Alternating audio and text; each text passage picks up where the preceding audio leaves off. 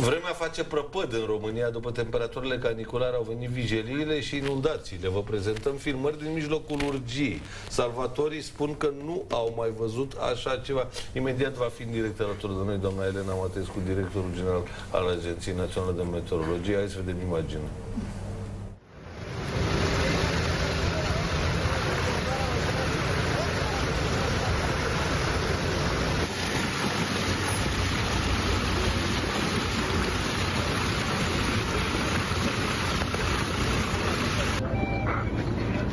200 de la cabina pentru 195 de la cabina de 1 rece.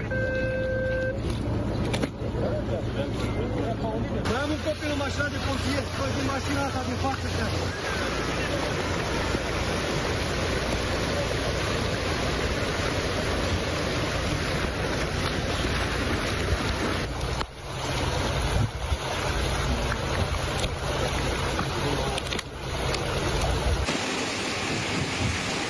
Gheață, tată, cât ou din porumbel. Prăpăd la huș.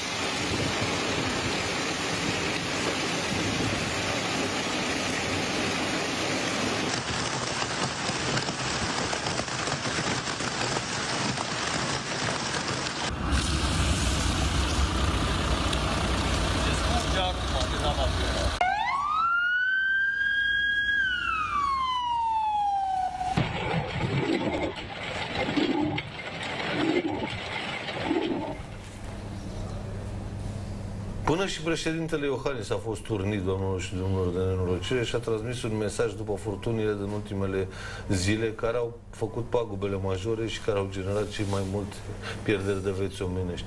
Șeful statului transmite că România și Europa resimt cu intensitate efectele schimbărilor climatice, prin furtuni violente, valuri intense de căldură și incendii de vegetație amplificate de temperatura tipic ridicate.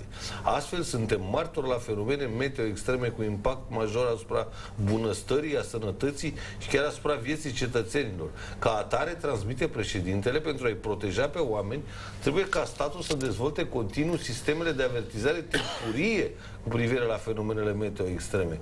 Nu în ultimul rând, președintele a transmis oamenilor că este alături de victi familiile victimelor și de toți cei răniți în urma vigiliilor din ultimele zile. Am încheiat citatul că de morți n-are cum să mai fie alături. Doamna Mateescu, în direct alături de noi, să rămână doamnă. Bună seara! Ce informări ați transmis președintelui de la determinat să iasă din tăcerea proverbială și să ne dea un mesaj în esență să ne uităm la starea vremii și să ținem cont de ce spuneți? Sunt informările care ajung uh, la toate ministerele cu care noi lucrăm, inclusiv Guvernul României, președinția, inclusiv dumneavoastră mass media, atunci când emitem alertele meteorologice. Cu siguranță, văzând efectele uh, din vara 2023, atât din luna iunie cât și din luna iulie, asupra ceea ce s-a întâmplat, fie că am vorbit de caniculă, fie că am vorbit de fenomene meteorologice specifice condițiilor de instabilitate, într-adevăr, efectele nu sunt deloc de neglijat și observăm amplitudinea acestora în condițiile în care aceste tipuri de fenomene ating uh, cote uh, maxime.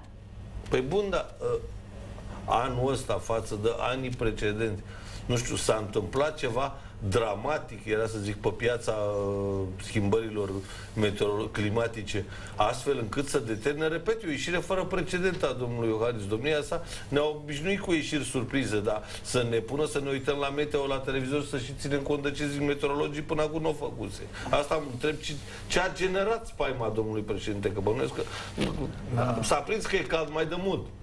Suntem educați. N-a funcționat roalertul asta la... Păi dar nu, roalertul nu era doamna Mateescu, Păi era nu, domnul da, Arafat. asta- Da, asta a fost... Păi nu, nu, asta o- eu întreb pe doamna bă, Mateescu și nu, nu vă bag, doamnă, în vreo dispută politică, că nu despre asta e vorba. Vă întreb dacă, repet, există ceva cu adevărat îngrijorător în zona asta a schimbărilor climatice, că totuși să Totul urmești e îngrijorător. un șef de stat să iasă și să dea un mesaj populației, să fie atentă, nu, nu e o chestie care se întâmplă în fiecare zi. Cu siguranță domnia sa a prezentat de-a lungul timpului interesul privind problematica schimbărilor climatice și aș aminti aici inclusiv întâlnirea domniei sale cu secretarul general al Organizației Meteorologice Mondiale, punând în valoare performanțele României în ceea ce privește primul centru european de agrometeoro- agrometeorologie pe care România îl va găzdui și, în un ultimul rând, proiectele de infrastructură pe care Administrația Națională de Meteorologie le are în implementare și sigur că da în dezvoltare, atât prin programele operaționale infrastructură mare, cât și prin PNRR. Uh, Faptul că uh, a avut această uh, mă rog, această apreciere vis-a-vis de ceea ce s-a întâmplat în aceste două luni, cu siguranță trebuie să luăm în considerare luna iunie, o lună uh, care a adus fenomene meteorologice extreme. Este pentru prima dată când, spuneam și în intervențiile anterioare, am emis două coduri roșii în mai puțin de o săptămână pentru același areal în care în partea de sud-vest a țării ne amintim, am avut cantități de până la 2-3 ori mai mult decât media climatologică a celei mai ploioase luni în țara noastră, luna iunie. Acum am avut două coduri roșii consecutive pentru val de căldură persistentă și care a adus valori de temperatură simțite de până la 46 de grade și aș vrea să uh, afirm că nici luna august nu va putea face excepție posibil de la ceea ce înseamnă vara extremelor meteorologice și la noi în țară și în Europa, pentru că Europa a experimentat în acest an atât cel mai timpuriu val de căldură, încă din mai, cât și cel mai persistent atunci când am vorbit de tot ceea ce s-a întâmplat din punctul de vedere al zonelor aflate sub cod roșu. Ne amintim Spania, Portugalia, să observăm ce se întâmplă în Grecia, în condițiile în care temperaturile foarte ridicate, seceta și uh, intensificările de vânt favorizează propagarea incendiilor uh, de vegetație. Domnul colonel Păcuraru ar dori să vi se adreseze, domnul... Vedeți, dumneavoastră, aici mai sunt două probleme despre care nu se vorbește. Prima dintre probleme este defrișările masive din ultimii ani. Dacă o ploaie de 10 litri pe metru pătrat într-o oră se scurge de pe un versant împădurit în încă o oră, o aceeași ploaie pe un tăpșan defrișat se scurge în 10 minute și mătură tot. A doua chestiune este că nu au fost actualizate planurile de apărare la inundații. Nu există planuri Astea de... la cine sunt uh, la instituțional vorbind? organele locale. Ar trebui de a prefect și până la prefectură. primarul de uh, comună să se ocupe toți de asta. Și mai mult, datorită faptului că nu sunt actualizate planurile, se construiește în zone care prezintă risc de inundații. Ce poți să le faci la oameni? Ei spun dacă îmi dă voie statul să construiesc, construiesc. Iar după aceea vedeți ce se întâmplă. Da, ei construiesc fără voia nimănui acolo. Vine apa, le ia casa și tot acolo construiesc. Da. Păi da, dacă primește ajutoare să o facă la loc, pe același loc. Așa am plasat. Dar apropo de ce spunea doamna Matescu și mulțumesc că a rămas alături de noi, hai să vedem urgia din mai multe țări europene, inclusiv cele nominalizate de domnia sa și despre efectele ei absolut devastatoare. Hai să vedem imaginile. Sunt spectaculoase și în același timp tragice.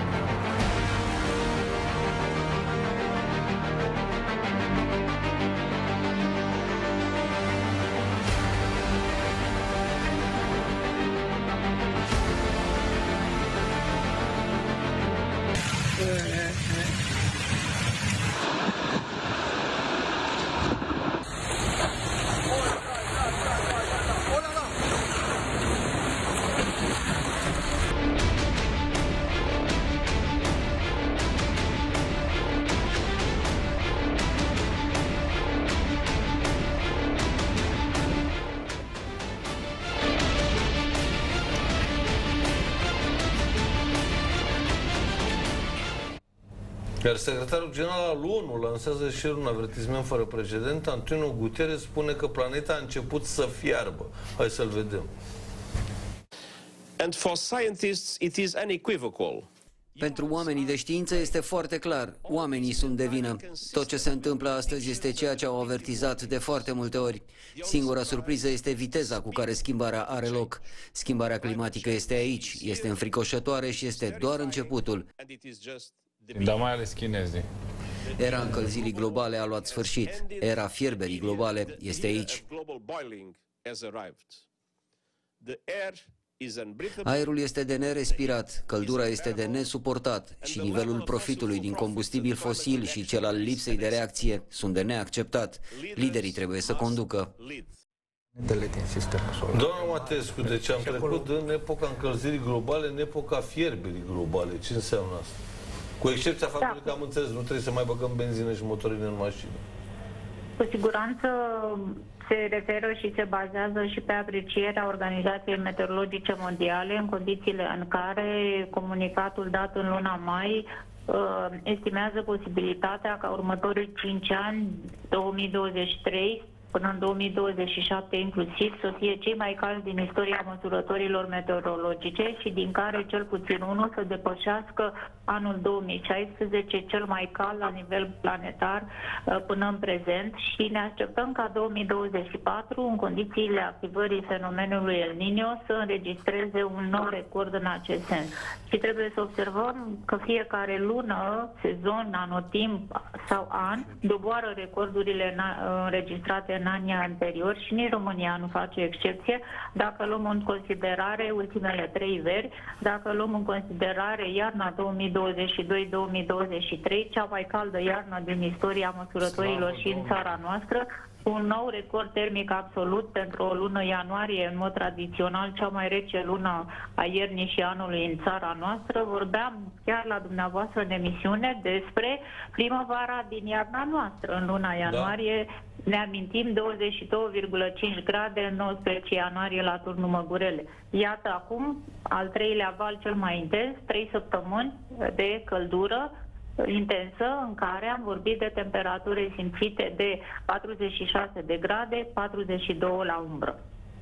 Uh, Domnul Harnagea, vă rog. Da, uh, doamna Matescu, am și o întrebare apropo de încălzirea asta și diferența între ani și ani. Uh, Eu, cel puțin, uh, mai citesc uh, tot felul de statistici făcute și de organizații internaționale meteorologice și uh, unul din uh, rapoartele care mie mi-au uh, uh, ridicat semne de întrebare este cel făcut de NASA. NASA a făcut un, uh, o statistică începând de la 1880 până în 2020 și pe statistica NASA, uh, măsurând uh, din 10 în 10 ani temperaturile uh, globale terestre, în raportul NASA, uh, de atunci, deci de 143 de ani până acum, Pământul s-a încălzit cu un grad.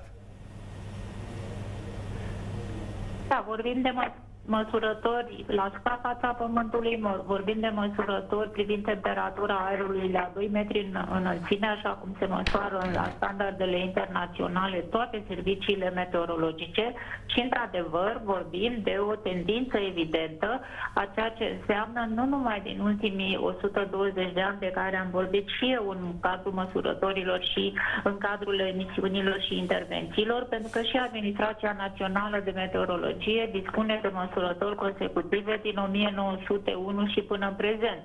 Și datele noastre arată la nivelul României, inclusiv la nivelul anotimpului de vară și chiar de iarnă, de o tendință evidentă. Verile au devenit mai calde cu 1,5 grade Păi în și domnule, medie. luând într-un grad, așa să răstoarnă toată omenirea că e pentru un grad? Zi de zi și ceas de ceas și secundă de Păi secundă. nu, sute Nu de ani. despre asta e vorba. Nu este. Planeta asta Hai lăsați-o pe doamna Matescu. nu este suspendată undeva în univers și nu are influențe și din uh, alte părți. Mai ziceți de Păi civilizații uitați-vă, extraterestre uitați-vă și la toate planetele uh, din sistemul nostru solar.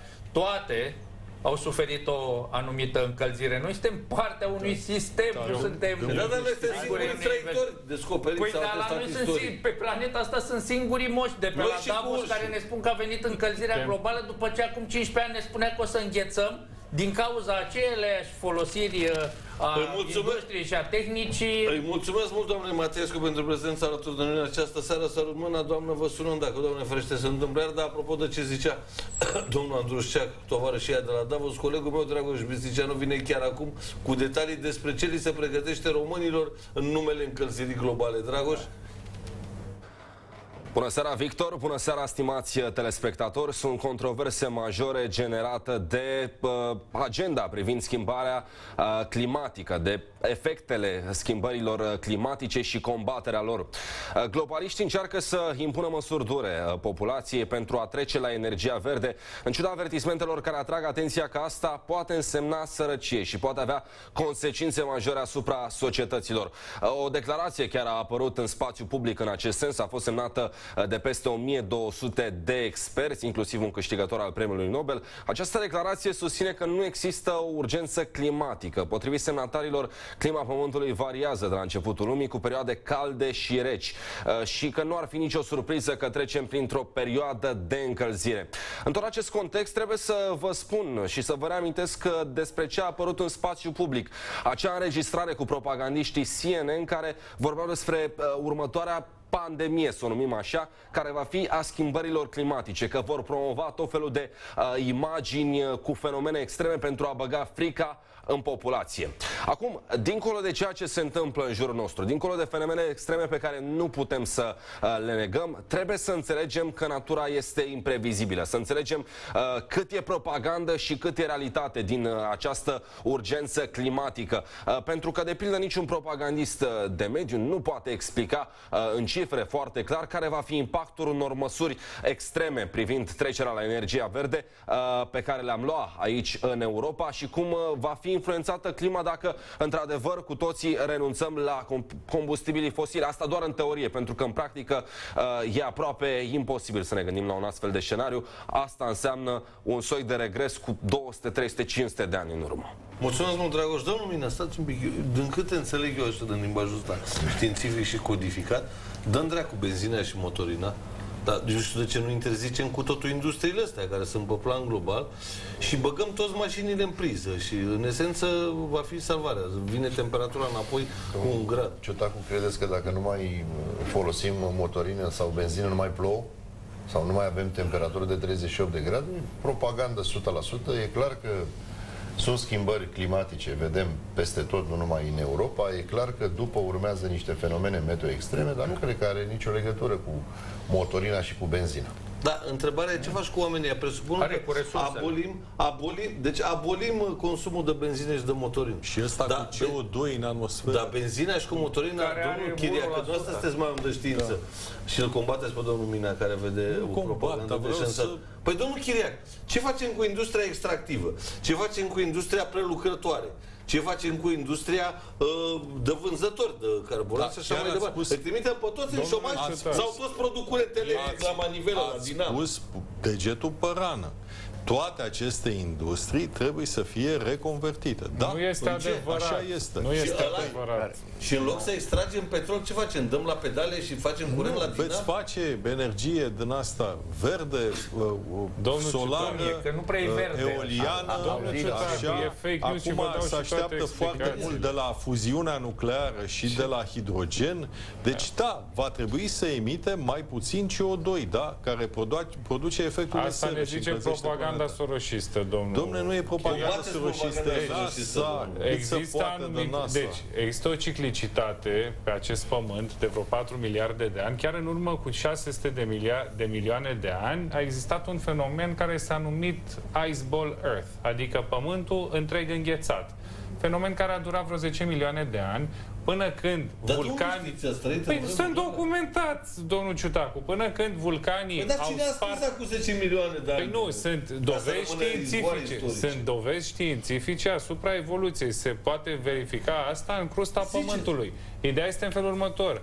Vulcanii care au spart atunci stratul ăsta foarte gros, care m, cred că măsura peste 2 km de gheață, a emis în următorii 10-15 ani Milioane atât de de ani. mult, nu, și în urmă chiar în următorii ani de zile, mai mult dioxid de carbon decât am putea noi să emitem de acum într-un milion de ani. Deci, uh, pământul acesta pe care, vai, este într-o încălzire globală, o să dispară stratul de ozon, o să dispărăm cu toții, are anumite mecanisme prin care se autoreglează permanent, inclusiv temperatura. Ceea- ceea inclusiv ce ne ceea ce vedem înspăimântă- acum este într-adevăr o reacție Ceea ce la... ne înspăimântă Dioxidul de este, carbon în atmosferă.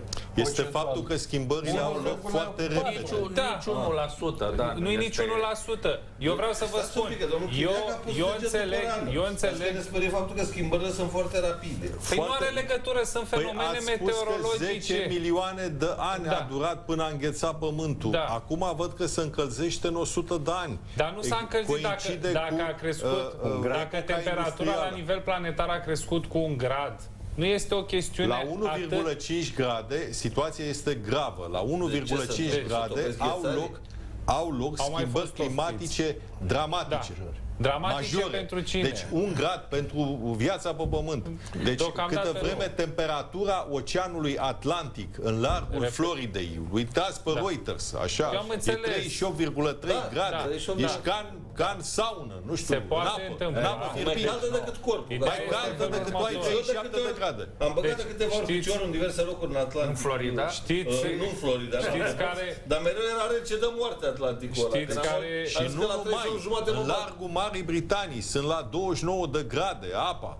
Da. În Marea Mediterană 28,3. Deci Nu sunt, este sunt ceva valori nemai fără întâlnit. Dar precedent. bine de mers pe coasta, Au mai pe fost zonă. valori, au mai La fost 20 valorile de acestea. Domnul 20 Bă, Chiriac. stați un pic, că eu, eu sunt mai Deci, cinic. Știți, Stați un pic, știți domnul- când domnul devine Afo. o problemă majoră?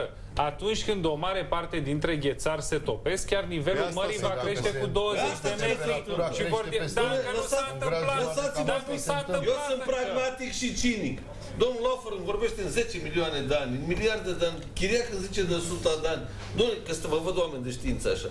Domnule, până crăpăm noi, se întâmplă nenorocirea, Nu, să alege da, praful și nu, pulberea nu, sau... Dacă Nu. nu se întâmplă nimic, Nu? Nu. dacă deci dacă nu, convingi- cazul e mai e- închis, mai e încă o urmașii problemă. noștri să rezolve cum dacă or nu ști ei. rezolv cu China Mai și e o cu problemă. India, Așa? Problema Se este întâmplă. că noi, Europa, luăm asemenea măsuri. Deci poluarea o fac ele. Restul de 6 miliarde de Uite, locuitori China și ai cu India, planetei în zice frunte cu domnul. China, Este- nimica. Este Dacă- exact ce se întâmplă în comparația dintre România și Europa. Noi nu mai avem industrie, că toată a fost dusă la... A, În da, schimb, avem a, ne taie cartiere și de pădurile, Da. dar noi trebuie să închidem capacitățile de Normal. producție pe cărbune. Producția industrială în România acum este de câteva ori mai mare decât în 1989. Cum nu avem industrie? Care e industrie care poluează? A, Că mașinile de Nu cusut e nu de poluează, poluat, domnul nu sunt Chiriac. mașini de cusut, mai aveți Aia mai puțin facem. luni, că ați mărit uh, salariul minim. Ceea ce, mă rog, e foarte bine. Dar avem industrie constructoare de mașini. Uh, Drexel Mayer e cel mai mare angajator în țara asta. Face componente pentru automobile. 15.000 de angajați. Și nu e singur. Sunt foarte Și Da, mulți. care nu poluează pentru că fac numai volane, chestii. Da, cred că Mega Image e cel mai mare Că unii angajator. care fac schimbătoare de viteză Sincer. Deci, sunt sunt cel mai mare în angajator în momentul țara ăsta, asta. producția industrială a României e de vreo 5 ori mai mare decât pe vremea lui Ceaușescu. Intră pe Pro- statistică. că problema, afli Victor, exact este în felul următor și cu asta sunt de acord. Atâta timp cât Europa și Statele Unite reprezintă doar 20% din poluarea existentă a cea- la nivel Deci nu global, le mai fac- iar restul India, uh, China și alte țări foarte mari nu dau doi bani pe acest Green Deal venit și Or fluturat de să dea, progresiști, fiindcă- o să dea când? Presiunea internațională este Eu am înțeles, foarte mare. eu am înțeles, dar Foarte Păi asta e, presiunea Eu- eu internațională repet. Ziceți este, și bă, mai ăsta pun o este dată narativ. întrebarea. în timpul vieții noastre Nu nu, se se va întâmplă. întâmpla nimic. Păi da, gata, Garantez domnule. eu. Urmașii urmașilor ți noștri se să rezolve pe întâmplă în compropriu, timpul ca vieții liberalii. tale, ți se întâmplă Ce Ce ți se întâmplă? temperaturi insuportabile, tornade în București și alte Unde? lucruri Păi de unde genul ce ăsta. tornade? Ursa Ursa bunicilor erau 60 Da, de Ursula, grade Ba măsurate. și urs la ploi, Stai da. puțin, Copilul Ursula era mai când frică ploiește, de îl nu. vede tot Ploieștiul. Am înțeles că a Domnul apărut pe Chiriac a fost Instagram. la pe ședință Stați de puțin. tot. Numai poliția nu-l vede, domnul. Deci tot Ploieștiul s-a întâlnit cu ursul, mai puțin poliția. Dar stați un pic, hai că a Domnul venit Chiriac o dăm- vine de la ședință, de la emisiune USR. de mediu și științifică. Domnul Minea, dumneavoastră la, la Giurgiu aveți urci? Sau încă nu? N-aveți valoare. Dar păduri mai aveți acolo? Că- Dacă aveți... Avem, mai avem Auziți, câteva da, păduri. pe... Stați, stați, Deci o să vină, vă- vă asigur. Eu prorocesc de 2 ani de zile că primul urs din București va fi la Clotilde. A- Abia ce trecut de ploiești, așa că sectorul 1 e... Acum ce preferi, șobolanii sau ursul? Ursul. Șobolani, eu șobolani. Hai, pune ursul, Eu, lasă eu recunosc o șobolani. Fac și eu ca Popa Mehedinsu când a zis că să trimitem câinii să se bată cu urși și că, care are zile scapă, nu? Ce facem? Punem șobolanii să bată cu urși în sectorul 1? Șobolanii în sectorul 1 omoară pisica. Deci, Da, omoară da. pisica, da. E nevoie de un urs ca să rezolvă Da, cazul. am aflat într-o statistică astăzi că românii sunt cei mai mari pisicari din Europa. Îți vine să crede? 60% dintre români au pisică. Iar guvernul vrea să pună Și TVA da, mărit și pe pune mâncarea de TVA pisici. pe mâncarea de Tu pisici. îți dai Da. seama dacă ieșim noi pisicari? Păi numai eu am două. Răsuțule. Despre ce vorbim? Clar. Da, Dacă ieșim noi pisicari în stradă, s-a terminat. Și eu am Până un aici pisică, a fost și eu am- guvernul. Am și un câine și o pisică. Asociez aici, Și da. eu. Ne Și? băgăm toți, toți. Toți, da, toți. Și copii ia, aveți? Haideți să descoate Căței? pisica la Căței. nisip. Domnul Harnagea? Am avut. Ați avut? Da. Do- Domnul Chirac e singur, e singur cu suflet hain care... Ia uite, bune, și- nu scăpați și de oamenii din o spate au pisică, podobenii ai nu pisică. scăpați de încălzirea Deci, globală. efectiv, 60 sau Să ne scoatem 80% dintre pisicile români la au nisip. pisică și ăștia măresc TVA-ul la hrana de pisici. Îți dai Păi, seama? sau- păi și nu- ei au spus, Nu domne, vi se pare că e o bază imposabilă serios? vor fi mulți bătrâni, mulți bătrâni singuri, Da? au pisică. Dacă O nu dau trebuie în să o stradă. scoți ca păcățel să-l plimbi, să nu știu așa ce. este. Bun. E mult mai ușor Problema de este că întreținut într-un pensionarul, o bătrânul, va lua de, din gura De lui la ca gura să- lui ca să dea pisici. ca să dea pisici. Cu siguranță. Și Rezolvă măresc și cu TVA-ul pensiile. la mâncarea de pisici. Rezolv și cu Chiriac, pensiile țin să așa, vă domnul anunț Chiriac. În mod festiv că familia Ciutacu când se duce la piață cheltuie mai mulți bani pe mâncarea de pisici decât pe mâncarea de oameni. Și credeți-vă că noi nu facem fomița pe acasă. Da? Nu, dar domnul Deci- Chiriac e cu încălzirea globală, nu poate să aibă, că consumă. Nu, dar eu- oxigen. Chiar dumneavoastră apărați uh, planeta Pământ, dar n-aveți pisic? Sau? Domne, n-am pisică, da. Are amprentă de carbon mare și aia. Vreți să carbon mare? O să iau pisici și o să... ca să vă mulțumesc. Da. Păi, uh, șeful nostru, domnul Vâlcu, parcă avea câini. Avea și pisică, parcă da, avea da, de da, moș. da, da, da. Dar uh, la cât se plimbă domnul Iohannis cu avionul ăla scump, Ăla care cu o fi piscină. amprenta de carbon Unde? pe care o lasă? Că altfel era foarte îngrijorat că nu Cine? merge roalertul. Domnul președinte Iohannis. Ah, păi, a, avionul el scump- amprentează puternic Avionul scump o fi pe planificat. curent electric, v-ați gândit la treaba Nu, asta? m-am gândit că nu Și s-a l alimentează inventat. la priză la Cotroceni. Apropo, care e amprenta de carbon de la fabricarea unei mașini electrice? Că la asta la altă și pune Ah, corect, că amprenta de nici aia- carbon. nici aia nu s-a fabricat. Uitați-vă la De trotinetele benzina și... electrice. Ah, ia uite. Vedeți cât poluează. Eu te văd... Și ia vedeți Zise dumneavoastră domnul și- Mina, vorba aia mare, trotinetele electrice. care ne-au obișnuit băieții de la USR cu ele. Uitați-vă cât de mult poluează și Mai nimeni nu puțin ca zice o nimic. mașină. Al- Hai să alea fim cu ce serioși. poluează? Mai puțin Haideți ca să- o mașină, dar mult mai mult Haideți să față de vedem cât ar cum trebui vom să distruge polueze. acele Mă rog, sunt baterii electrice, în da. Momentul în care va veni timpul. Da? Că Că asta n-au o durată de viață extrem asta cu de mare. distrusul Deci, bateriilor deci, și la aia alea e mici, mare. așa ai E probleme. problemă mare de tot, da, într-adevăr asta. Și cum poluează, uh, dacă Păi, chestiunea asta o procesul face de în fabrică, fabricare și de distrugere a bateriilor, la asta se refereau. deci cum mai poluează, înțeleg. China, nu la noi, nu ne interesează. A, nu e, să fie la ei acolo, cum să zic.